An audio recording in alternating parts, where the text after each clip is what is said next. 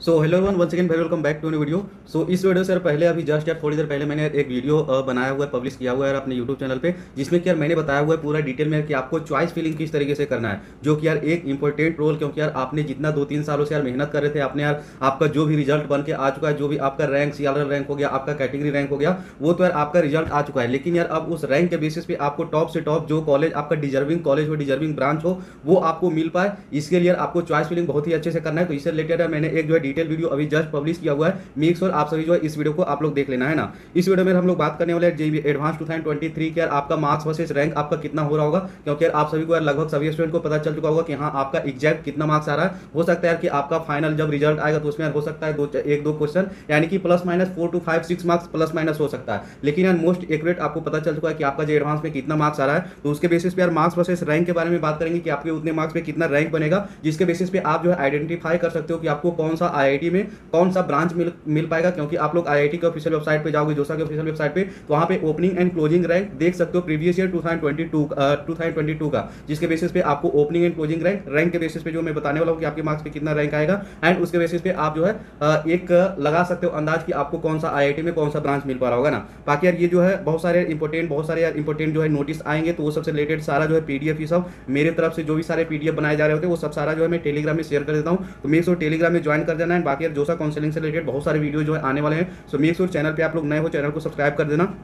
सो so, चलो finally video को start करते हैं। सो ये यार फाइनली आप लोग देख सकते हो जो एडवांस ट्वेंटी ट्वेंटी थ्री का मोस्ट एक्यूरेट ये जो है सेम एज यार प्रीवियस ईयर की तरह ही आपका जो है आपका marks versus percent marks versus rank का ट्रेंड रहने वाला है। क्योंकि यार यहाँ पे आप लोग देख सकते हो टफनेस लेवल यार जितने भी मैंने टॉप के एजुकेटर हो गया अन अकेडमी का हो गया फिजिक्स वाला का हो गया एंड और भी बहुत सारे जो एजुकेटर है वो यही बता रहे हैं कि जो एडवांस का जो है टफनेस लेवल आपका दो हज़ार बाईस के सेम सिमिलर जहाँ से जहाँ तक दो यानी कि दो का दो हज़ार का जो पेपर आया उससे जो है टफ ही दो हज़ार बाईस में आया हुआ था। या तो फिर सिमिलर मतलब कह सकते हो, है ना? तो टफनेस लेवल बिल्कुल जो है 2022 के सिमिलर ही था। तो उसी तरीके से मैंने 2022 का ये जो है मोस्ट एक्यूरेट डेटा मैं यहाँ पे बताने जा रहा हूँ, जो कि आपका इतने मार्क्स पे इतना मोस्ट एक्सपेक्टेड जो है आपका इतना ही रैंक आ रहा होगा, है ना? सो यहाँ पे आप लोग देख सकते हो, और अगर जो आपका 190 प्लस मार्क्स आ रहा है तो आपका ज़्यादा चांसेस है। आपका 1100 से 1200 के बीच में आपका रैंक आ रहा होगा जो एडवांस के एग्ज़ाम में। 170 प्लस मार्क्स है तो आपका 1800 से 2000 के बीच में।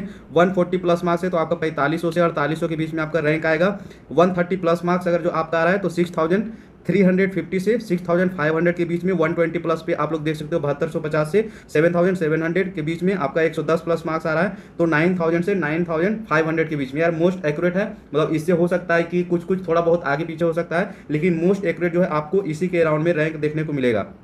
100 प्लस मार्क्स अगर जो आपका आ रहा है तो 12000 के रैंक के अराउंड आपका आ रहा होगा। 90 प्लस मार्क्स आ रहा है, जो कि यार एक सेफ़ मार्क्स माना जाता है सभी कैटेगरी के लिए, है ना? कि अगर जो आपका 90 प्लस मार्क्स 95 मार्क्स के अराउंड में अगर जो आ गया आपका जो एडवांस के एग्ज़ाम में तो 100 परसेंट है कि आपका पंद्रह के अराउंड में आपका रैंक आ रहा होगा। पंद्रह से सोलह के बीच में, पंद्रह हज़ार, साढ़े पंद्रह के अराउंड में आ रहा होगा, जिसके बेसिस पे हंड्रेड मतलब गारंटी रहता है कि आपको कोई ना कोई आईआईटी तो आपको मिल जाएगा, भले ही आपको लोअर ब्रांच मिले, है ना? तो नाइन्टी मार्क्स पे वही पंद्रह से साढ़े के बीच में रैंक आ रहा होगा आपका। सेवेंटी प्लस मार्क्स पे इक्कीस से बाईस के बीच में आपका रैंक आ रहा होगा। जैसे कि यार मैंने बताया कि आपको टफनेस लेवल 2022 के प्रीवियस ईयर का डेटा के बेसिस पे मोस्ट एक्यूरेट ये जो है आपका मार्क्स वर्सेस रैंक आपका हो रहा होगा 2022 के जेई एडवांस के बेसिस पे है ना? सो so, बाकी यार आप लोग चैनल को यार सब्सक्राइब कर लेना। बहुत सारे वीडियो जो है आपका जोसा काउंसलिंग से रिलेटेड आपको सिक्स राउंड काउंसलिंग तक जो है आपको सारा वीडियो मिलते रहेंगे। बाकी यार कॉलेज एडमिशन से रिलेटेड बहुत सारे वीडियो आने वाले हैं। सो so, बाकी यार चैनल को आप लोग सब्सक्राइब कर लेना। बाकी मिलते फिर नेक्स्ट वीडियो में किसी नेक्स्ट न्यू अपडेट के साथ। तो thank you very much and wish all best love you all thank you so much